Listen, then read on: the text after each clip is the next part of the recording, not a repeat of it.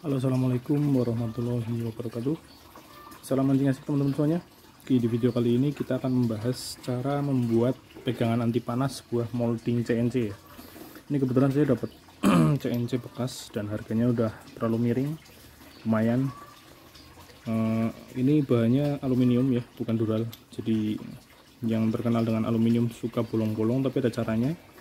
Teman-teman bisa simak kalau yang belum tahu caranya pakai molding CNC agar mulus nah di sini ada bahan-bahannya adalah yang pertama ini ada kayu yang sudah dicat sudah saya haluskan. Ada engsel kecil ya. Engselnya ini teman-teman bisa beli engsel yang kecil buat tutup pintu lemari kayaknya kecil. Nanti kita bor. Mungkin teman-teman dapat kayak gini juga yang sekan-sekan kan lumayan bisa diakali sendiri. Nanti kita bor di sini. Terus ada empat buah skrup. Ini ada skrup untuk masang engsel dan sekarang kita langsung aja bor. Teman-teman uh, kalau ngebor usahakan pakai as yang naci ya. Ini as naci jadi tahan sama apa namanya? Oh ini gedean. Ganti dulu. Tahan sama anu aluminium bukan yang buat beton ya. Kalau buat beton itu kurang uh. ganti dulu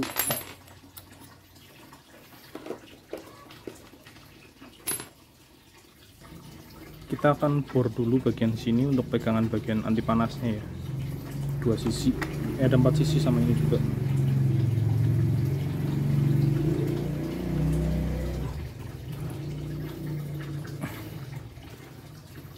Langsung kita bor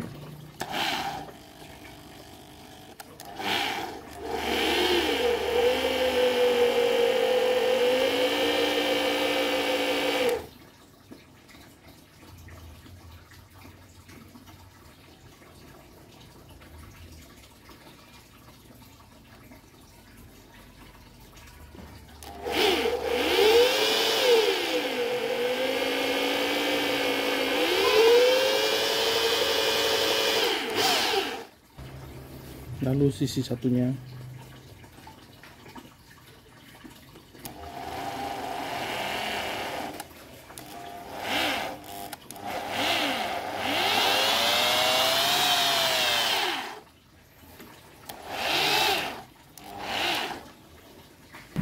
Dan ini udah terpasang dua dua apa namanya? Dua ini ya lubang bor sekarang kita pur yang satunya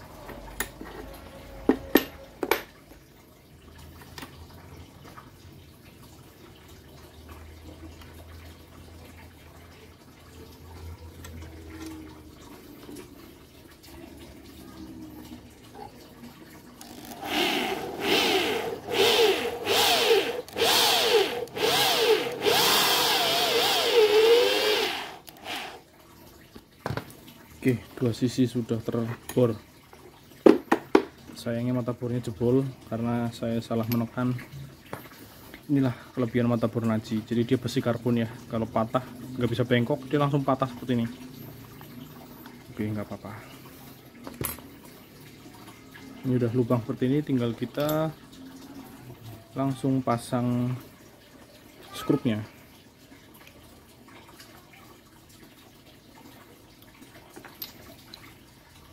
Sekarang kita bor bagian sisi ini ya. Ini ada tips sebentar. Jadi kalau teman-teman buat usahakan bagian ini itu yang menghadap ke sana waktu kita ngecor ya. Soalnya ini bahaya. Kalau pas kita kondisi mungkin ini untuk safety aja. Kalau menghadap sini kita masukin timah terus ini nyiprat ke tangan kita tuh bahaya. Jadi sebisa mungkin kalau masang jangan sampai kebalik jadi sisi lubang masuk timah ini menghadap keluar sana waktu kita ngecor jadi aman. Kalau nyiprat dia nggak akan ke kena tangan gitu. Itu tips. Karena saya pengalaman. Kena kena tangan luar biasa panasnya dan langsung melepuh. Dan sekarang kita bor bagian mana? Sini berarti ya. Untuk masang engsel. Engselnya agak bengkok kita tuker. Kalau pakai engsel jangan bengkok-bengkok ya. Tips juga karena itu akan mempengaruhi nanti pas rap, tingkat kerapatannya nah seperti ini.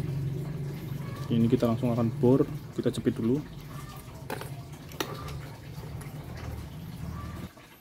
Ngebor bagian ini kita tandai dulu ya bagian sisi jadi ngebornya satu-satu supaya kalau bisa menepi karena untuk mengunci nanti bautnya.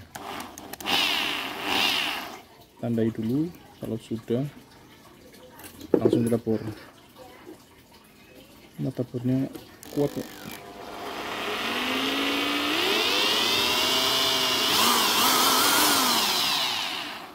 Duh, ternyata mata bornya minta ganti nih. Kalau bukan aji emang susah. Kita tandai dulu aja.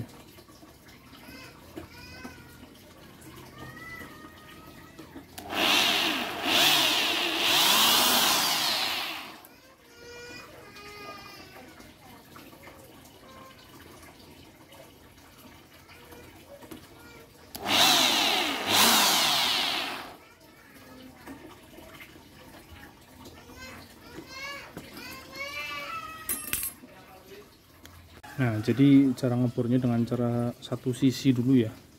Supaya nanti tidak apa namanya? Untuk mengurangi kalau misal terjadi renggang. Soalnya kalau langsung dua takutnya nanti langsung renggang jadi satu-satu gini.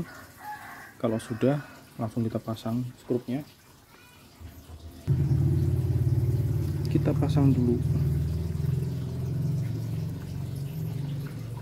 Nanti kalau sudah dipasang baru kita setting yang sebelah untuk dibor supaya tidak ada renggang. Soalnya kalau renggang nanti pas ngecor kita akan kewalahan. Finishingnya terlalu banyak.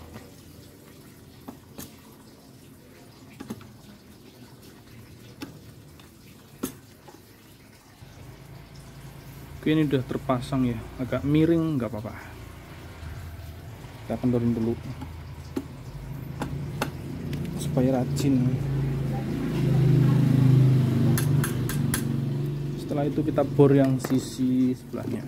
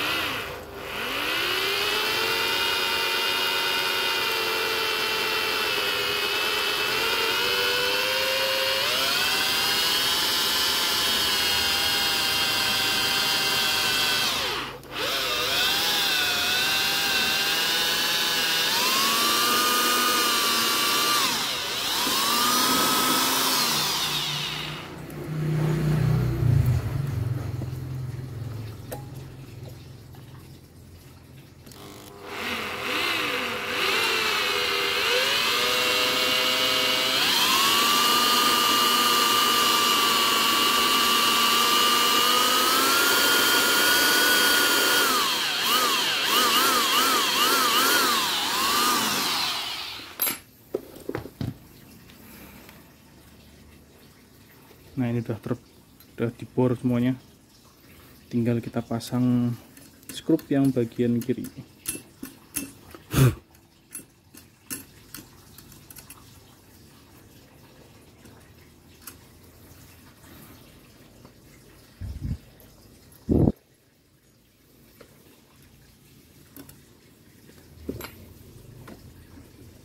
Kendorin dulu untuk nyeting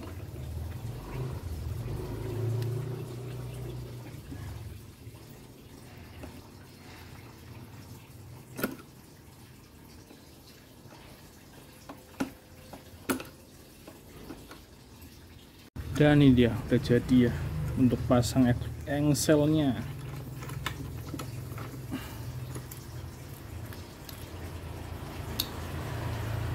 Dan hasil akhirnya harus pas dikencengin gini harus agak renggang soalnya pas kita nanti kencengin supaya dia rapat total rapat bisa rapat gini ya. Um, masangnya ini cukup mudah-mudah apa gampang-gampang susah ya. Soalnya ngepasin bautnya ini harus pas banget. Kalau enggak nanti terjadi renggang di sini. Kalau pas kita ngecor timahnya ke samping-samping malah nanti bikin apa namanya membuat kita susah kalau pas finishing. Nah ini jadi kayunya nanti ke sini seperti ini ya. Jadi aman. Kalau nyiprat dia nggak akan ke tangan kita tapi keluar ke sana. Kita tinggal kita pasang kayunya ini kita bor. Dan ini dia ini sebagian udah saya pasang ya karena tadi agak ribet jadi nggak sempat kerekam. Sekarang kita pasang skrupnya. Skrupnya panjang nah, ini melebihi ya. Jadi nanti kita am, apa gerinda. Ini gerinda biar halus. Nanti digerinda kalau udah selesai. Sekarang kita pasang skrupnya. Jujur saya lebih suka pakai pegangan anti panas pakai kayu ya daripada pakai aluminium atau pakai besi karena itu kalau besi itu saya kemarin pengalaman kalau yang bawaan itu buat ngecor berjam-jam dia mulai panas banget terasa banget di tangan. Kalau pakai yang versi kayu seperti ini panasnya nggak terlalu. Oh, ini susah nih panjangan gini. Susah mas bro. Harus ditekan banget. Bismillah. Oke ini kepanjangan nih. Nah ini struknya. Oke ini dia. Nah kan. Ini harus ditekan banget. Oke kita pasang satunya.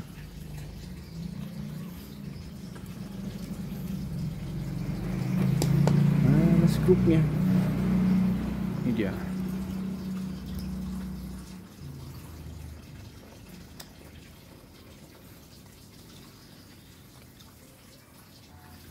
dan ini dia hasil akhirnya. Alhamdulillah sudah jadi ya. E, tidak rajin nggak apa-apa. Yang penting fungsinya. Dari seperti ini kita buat rezeki sedikit-sedikit ya. Lumayan Alhamdulillah. Nih. Engselnya rapat dan tidak ada yang benggang ini sangat bagus. Karena kalau benggang nanti pas ngecor akan membuat susah kalau timahnya bleber-bleber ke mana-mana. Dan jujur uh, menurut saya ya kalau dari saya lebih lebih suka saya pribadi lebih suka yang model ini kayu. Dan buat sendiri ini lebih puas karena panasnya nggak sampai ke tangan. Kalau yang model besi itu yang besi bulat atau besi kotak itu tetap panas nanti lama-lama kalau buat nyetak ratusan. Oke gitu aja. Moga-moga video yang bermanfaat teman-teman semuanya. Nah caranya seperti tadi ya dibor dulu dari sini di setting. Tadi sempat ada yang nggak rekam soalnya settingannya cukup ini kalau bisa teman-teman pakai ini skrupnya yang pas ya. Ini tadi pakai bor mata bor yang 0,3 mili. Ini tadi sempat korban juga asnaci. Mata bor nacinya patah nih. Nggak apa-apa buat kerjaan tuh lumayan lah nggak terasa. Oke gitu aja teman-teman semuanya. Semoga videonya bermanfaat. Saya udah Romanto sampai ketemu lagi di vlog selanjutnya. Wassalamualaikum warahmatullahi wabarakatuh. Salam anjing asik